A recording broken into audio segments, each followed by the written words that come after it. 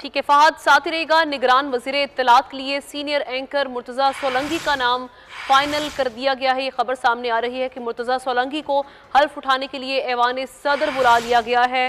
Deputy bureau chief Islamabad Ali Sher हमारे साथ मौजूद हैं। उनसे इस खबर की कन्फर्मेशन लेते हैं। बताइएगा अली शेर।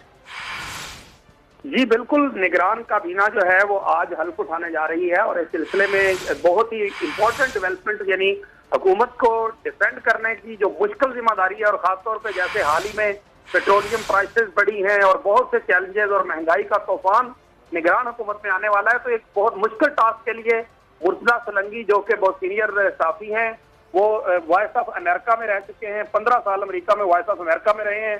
इसी तरह से पाकिस्तान के मशहूर अखबार दी न्यूज़ में वो खिदमत सर अंजाम दे चुके हैं।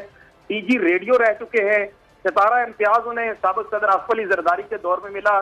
सबक सदर आसफ अली जरदारी के वो करीबी दोस्तों में शुमार किए जाते हैं और बहुत ही एक बैलेंस मतवाजन शख्सियत है, धीमे मजाज की शख्सियत है।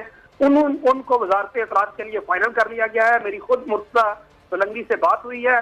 उन्होंने इस बात की तस्दीक की है कि उनको वजारत इतलात के लिए वान सदर बुला लिया गया है और वो बतौर वज़ीर इतलात जो है वो हल्फ उठाएँगे। अगर के तरीकाकार ये होता है कि पहले हल्फ उठाया जाता है बाद में कलमदान दिए जाते हैं। कलमदान का फैसला तो वजी ने करना होता है लेकिन ये कहा जाए कि ये फाइनल फैसला है एक तरह से कि मुर्तजा सोलंगी जो है उनको वजारत इतलात दी जा रही है और उनमें ये इतलात निगरान वज़ीर इतलात के लिए senior anchor person Murtaza Solangi का नाम फाइनल हो चुका है। आज वो हल्फ उठाएँगे। शुक्रिया आपका अली शेर।